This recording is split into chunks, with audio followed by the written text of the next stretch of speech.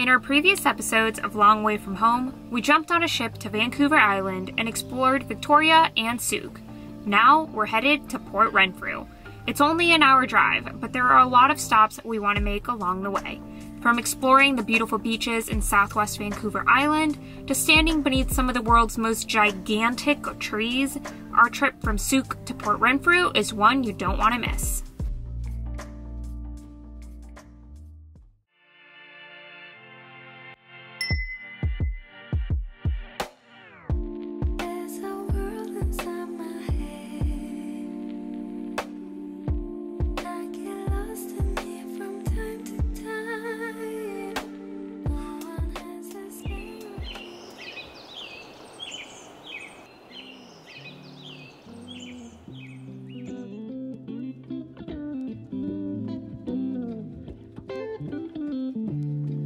Started a road trip at the Sheringham Point Lighthouse and fueled up for a big day of adventure at a local cafe.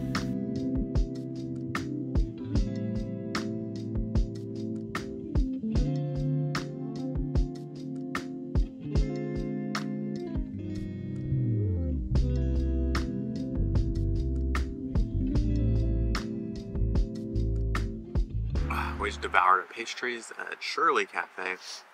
I highly recommend the Surely Cherry. delicious, actually. or what was it? Cherry mango cocoa.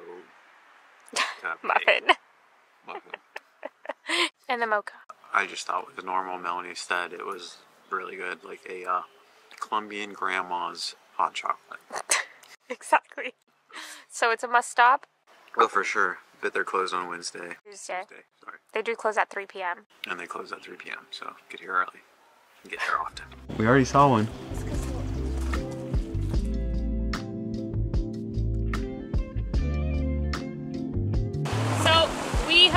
French Beach next on our Sooke to Port Renfrew travels. Beautiful rocky beach.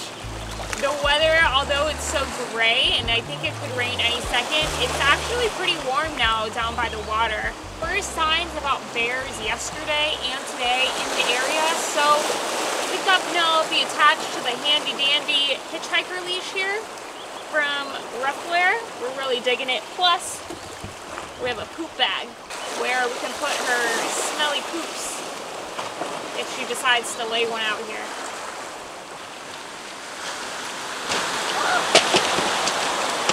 Um, you good?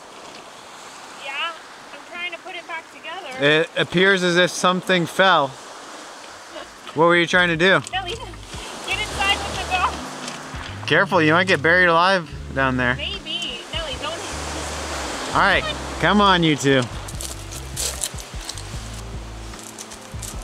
Ooh, that one was even better. Want some? No gracias. They're really good. We've got an eagle up above us, guys. We just saw this eagle fly out to the ocean, pick up a snack, and bring him back to the tree. And we're standing right below him, just watching him chow down on something, guessing fish. He's dropping a lot of pieces.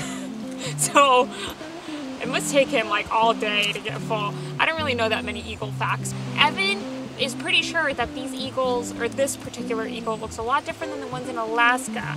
You tell us. Did you see the ones that we saw in Alaska? Does this one look different? A four minute drive down the road was another wonderful beach with a waterfall. This one's called Sandcut Beach. What's up with all the rocks? Oh, uh, I don't know. I guess that's what you're supposed to do here on the show. you bring a rock back up from the beach as a uh, memory.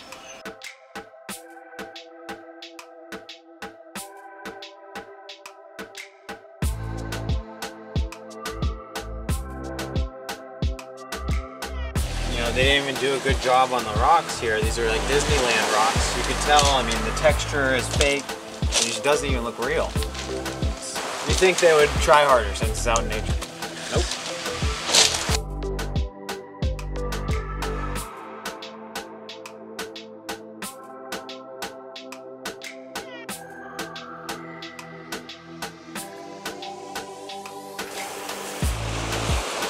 I'm not carrying that, it stinks.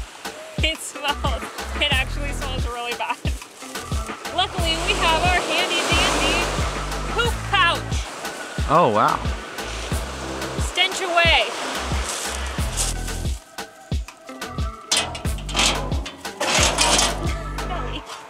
That concludes today's activities. We're gonna head back to camp. I think we successfully avoided the rain, just barely. It's starting to come down. So that means it's time for us to go hide in our van. Today, Chef Evan has whipped us up uh, fake chicken. That's what we call it. Vegan chicken. Inside a hot dog bun, I have decided to top it with ghost pepper chips. And then we have a potato medley on the side. White potatoes and sweet potatoes. And I forgot to mention, there's cashew sauce inside the hot dog bun. Back at the bottom of it. Can I get some of those chips? A real delicacy.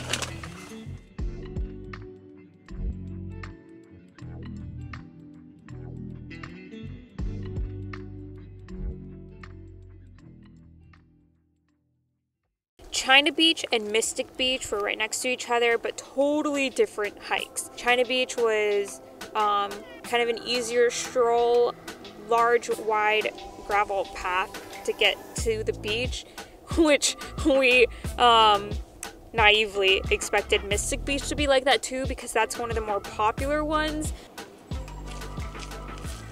We're at Mystic Beach today. I hear that there is a waterfall, a suspension bridge, a beach. What more could you ask for? Let's go check it out. What always makes a hike 10 times more fun? A suspension bridge. Ten times, huh? Careful.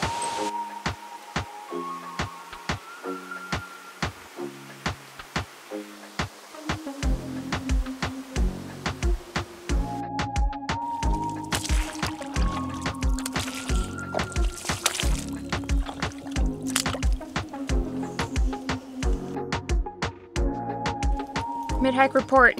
So this trail is uphill both ways. Sloppy, rooty, muddy.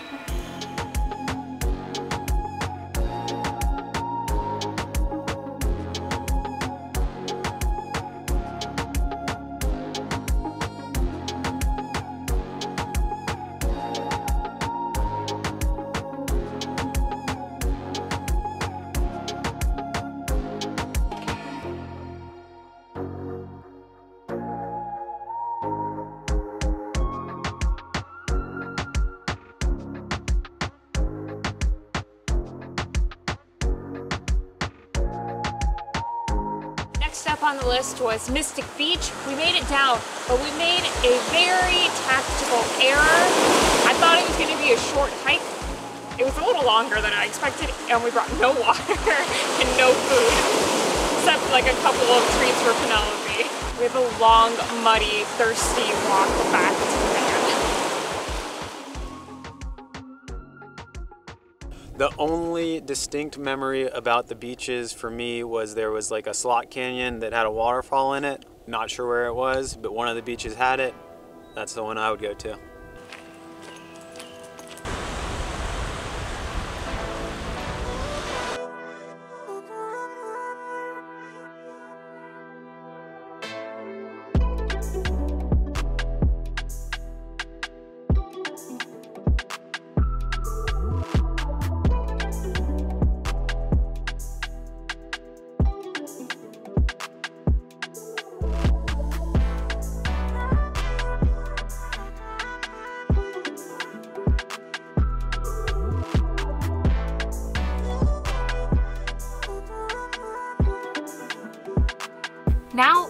Pivot from beaches to forests to check out the infamous Big Lonely Doug.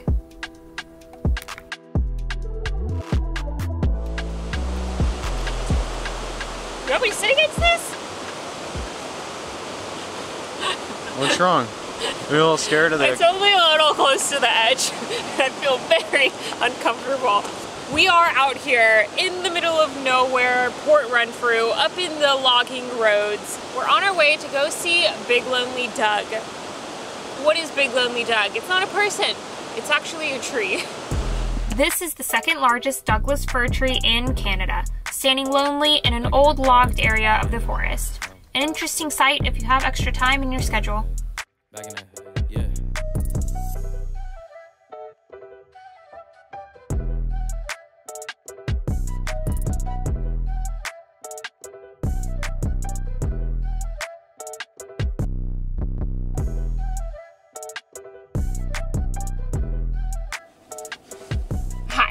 We've made it to Botanical Beach, next on our list of places to explore here in Port Renfrew. Lonely Doug was really interesting to see, uh, but he was pretty lonely. So hopefully the uh, aquatic life here at Botanical Beach and the infamous clear tide pools are more um, social, unlike Lonely Doug.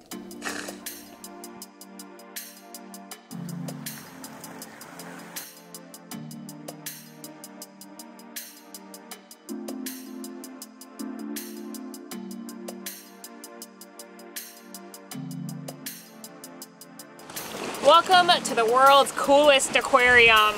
The tide pools here are very clear. You can see in there perfectly. There's a bunch of sea urchins, like thousands, and lots of anemones.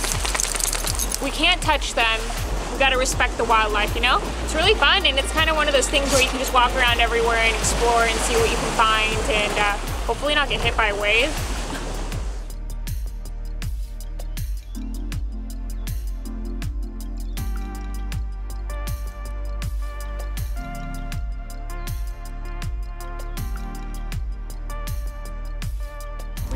Ourselves our Kokopelli, our Costco life jacket. That thing is baller for I was gonna pay uh, for it. like 120 for one from REI. That was really pretty. Um, but then I found this one for 30 bucks at Costco. Do we really need to explain our bargain hunting? I don't feel it's legit. It's okay. I'm not a pack rafter. We are at Fairy Yet. Lake. Yet, yet. This has had one maiden voyage in Evan's mom's pool. Um, so now we're taking it on its true maiden adventure. At Fairy Lake, I'm gonna paddle out to a bonsai tree. I, it's not a bonsai tree, but it's a tree. Okay, we're in. We're in. No, I'm out. Give me a second. See ya! I'm out here. Nellie's not happy about it. She always wants to be part of the adventure.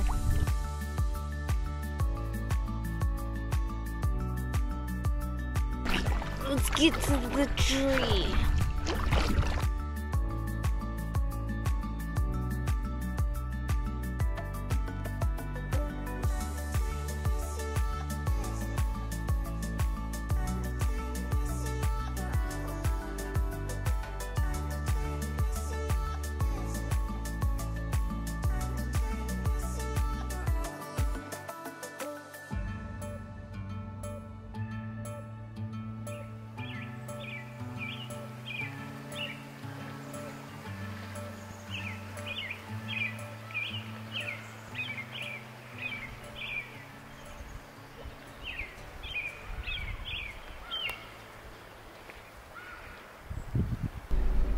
Going on here? berries and bear spray. uh, we're scouting out some camping spots. These didn't work out, but they did have berries.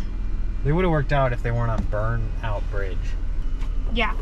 There's a lot of like really fast moving cars out here because this is like a forest road, but highly traveled, and it seems like people come here just to speed race. We're still looking for camp, and we drove to a tree Another tree. another tree. I think it was called the spruce tree. Anyway, there's a river right next to it, and we walked down there, and we came upon what I'm pretty sure were frogs mating, but it was fascinating to watch. pretty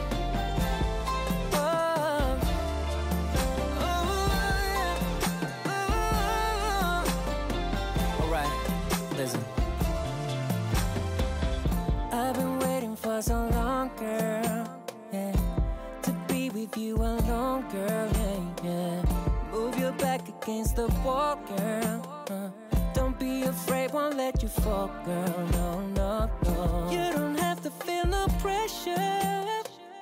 We got And they left behind like a, Evan called it a tail, but then it was like 10 feet long. So I'm pretty sure it was like the string of their eggs laying their eggs. Although they were both laying the strings. So that doesn't make sense. What do you mean? They were both mating. They were both laying strings.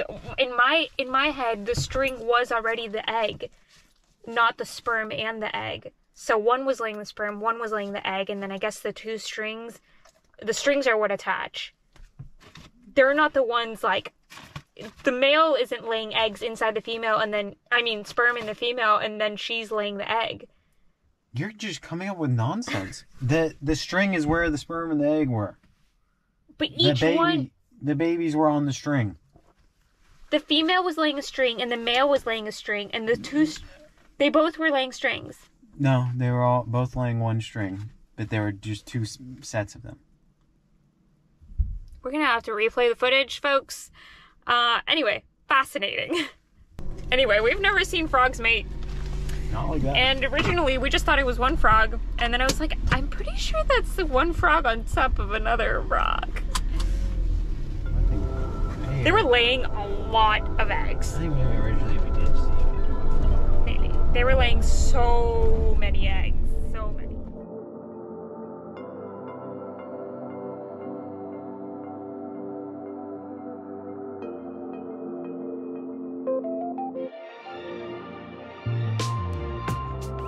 Okay, we made it to camp.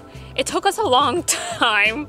We were gonna settle uh, for like this pull out on this logging road, and we happened to be droning, and Evan saw this other logging spur uh, where he thought he saw a fire pit set up, and he was right.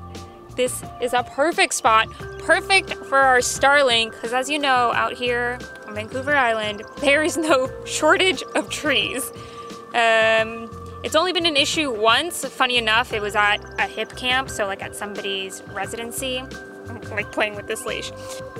I've got my bear spray. You know, this is like a uh, what do they call it? How you doing over there? What do they call? Uh, I just saw you frozen in time. What's up? What do they call? Uh, something that you carry with you, like a purse. A bag? No. like a. Oh my god. No, not an actual purse, but like an accessory. Woo! I haven't worn earrings in so long, bracelets, necklaces. I haven't worn accessories in so long, I can't remember the word. Anyway, bear spray out here is basically an accessory. So, lives in my pocket, in my bag, in my hand, whatever. Let's go pick some berries now that we set up camp. You're lucky. There's a bush right there. The bush is right there.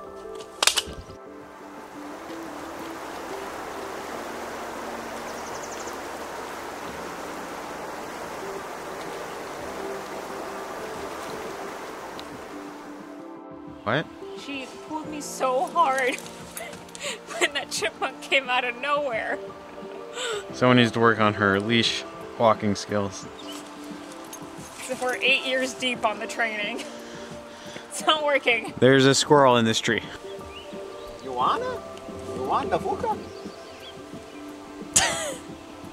Do you want me to get you the face bug net? I think I might need some bug net, bug spray. The bugs, they're they're here. And they bite. Some of them bite. A lot of them are just gnats though. If you're interested, Hold on. What's up hold now? on, one more thing. If you're interested in these beautiful, exquisite, very well thought out recipes, check out our Patreon. Wow, what a plug. It was surely delicious.